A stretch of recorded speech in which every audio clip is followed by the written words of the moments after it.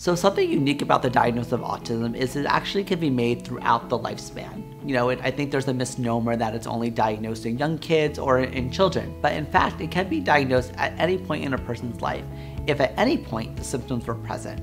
So common misperception is, oh, if my child was diagnosed later, like when they were a teenager, or if it's a young adult and they're diagnosed for the first time with autism, that it's a less severe presentation it's not really helpful to think of it in severity level. I think it's more helpful to think of it as it's just like when they were younger, the needs weren't as present. The child was able to, or the young adult was able to function in society in a level that wasn't distressing or concerning.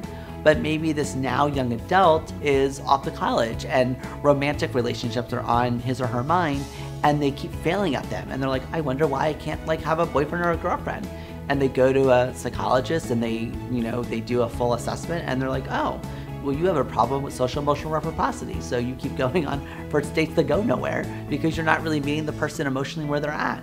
And their eyes are opened. And then when they think back, they notice really subtle cues that maybe weren't as obvious or potentially no one knew about. Um, you know, as time goes on, we as a field, people that work with autism, have gotten better at identifying it.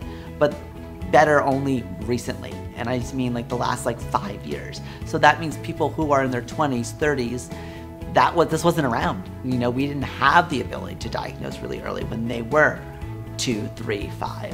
So it's not that something's less severe gets diagnosed later. It's more like it maybe didn't present in a way that was recognized as autism when they were young.